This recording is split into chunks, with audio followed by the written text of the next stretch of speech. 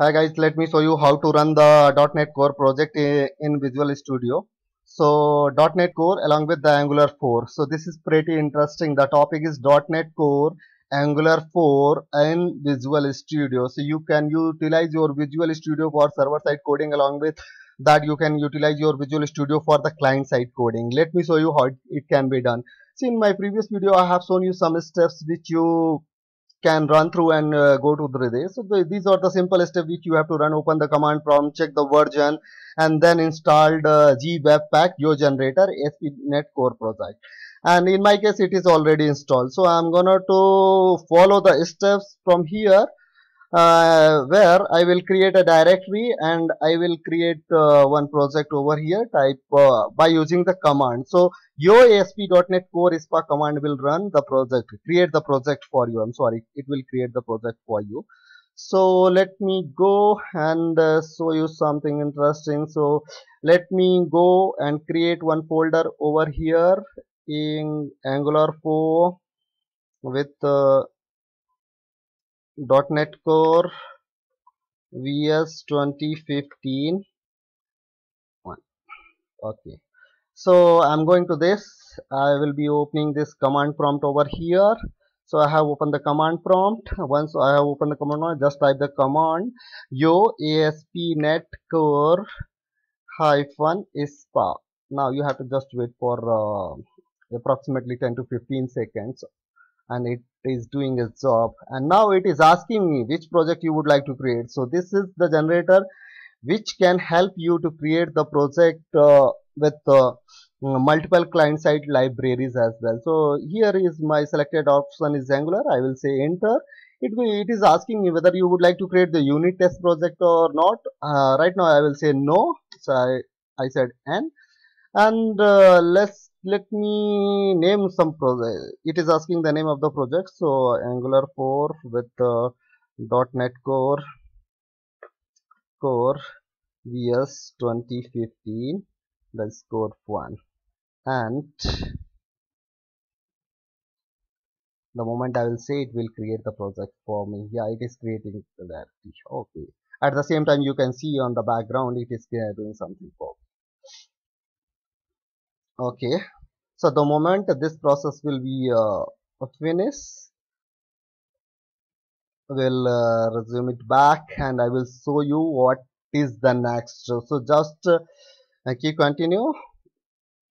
Yeah guys. So we are here till now. It has created lot of directory and it is restoring my new access for me and uh, it will come to this situation and you can just go to that physical directory uh, as it is in the background for me and it has created the project for me. Now the next step is that according to my ppt it says that uh, it will create the project for you. Go to the physical directory you will see the project. Now go to vs 2015 and create a project with net core and web application okay so what exactly we are doing? The project which has been generated by the generator we will merge into visual studio 2015 so here is the step to do that. I'm going to visual studio 2015 just i will go and create one project. Select the web template net core angular 4 angular 4 with the. net core net core one.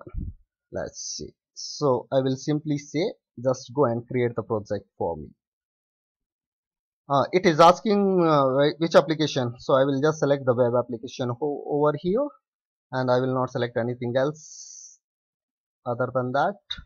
And it will go Visual Studio will go and generate the project for me. So this is the project which Visual Studio has generated to, for me and let me go and show you the command prompt status. You will see the status of the project got created by code generator and you will see this kind of screen over here. Go to the folder where you have created the project with the command prompt. These are the files over here. Now let me tell you the steps. First of all go to www root and delete everything inside whatever is there in www root so yeah well let me show you. Uh, so I will uh, just go here and say delete from here. Okay so let me go delete. It has deleted for me.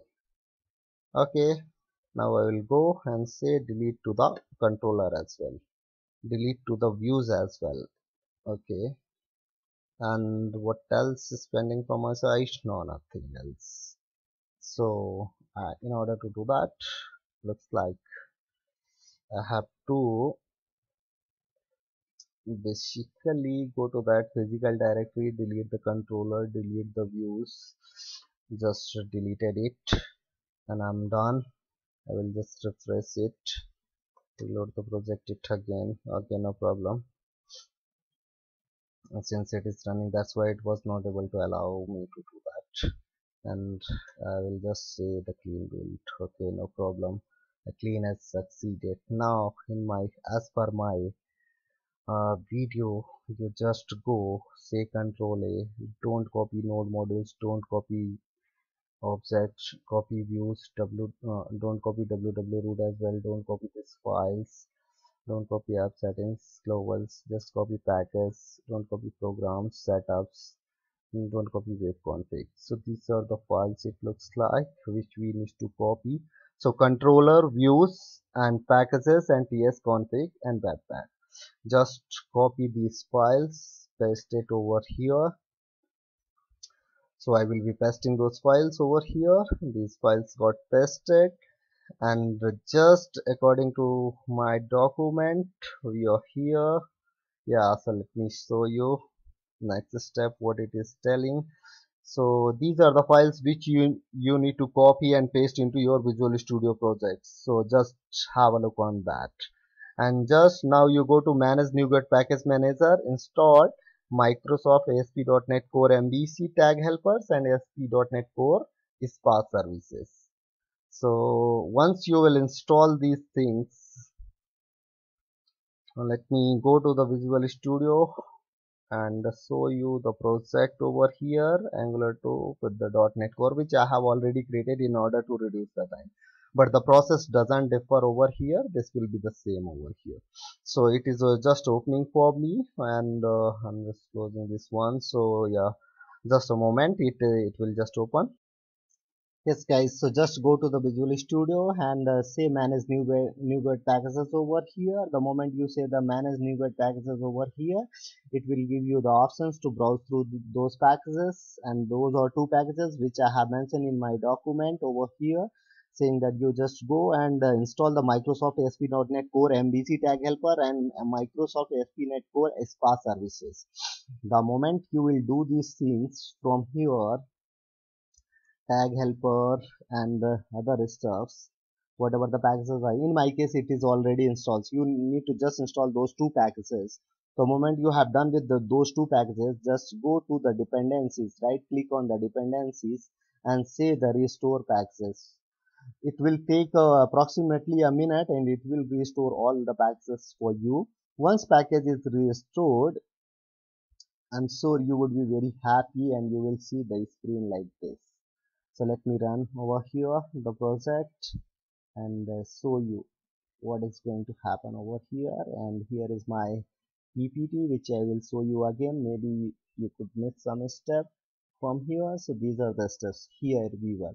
You need to just upgrade. And one more thing i forgot to mention over here the moment you install ASP.NET Core MVC tag helper and ASP.NET Core SPA services, you will get some kind of warning messages for these package. Just upgrade those packages as well and restore the package. Then just restore the package and you will see the screen over here. So let me show you what screen has come for us. So yeah, yeah here your web application is running over here. So these are my steps which you could follow and run through the project if you are missing any kind of so please follow all the steps carefully and you are good to go with the angular 4 with the .NET core in visual studio. When i learned this it is wow feeling for me. I hope you too had enjoyed it. Please like subscribe and comment on my channel. Thanks for watching. These are the steps which i followed.